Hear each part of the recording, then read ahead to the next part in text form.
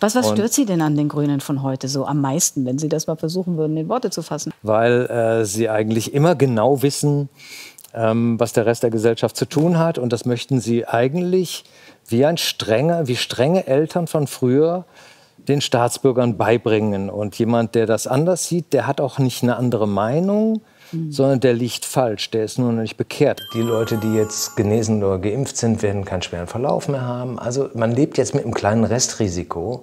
Aber für diese Menschen muss wieder Normalität eintreten. Und wer sich nicht impfen lassen will, der hat ein Problem. Ja? Also das hat so was von äh, religiöser äh, Wahrheitssicherheit, die ich überhaupt nicht teile. Mhm. Ja. Ähm, Sie die ist mir auch zuwider, muss ich sagen. Wenn man jetzt sagt, meine kleine Angst ist mir wichtiger als das Ganze, dann muss man damit leben, dass man eben Zutritt verliert zu bestimmten mhm. Bereichen der Gesellschaft. Ich glaube, anders geht das jetzt nicht mehr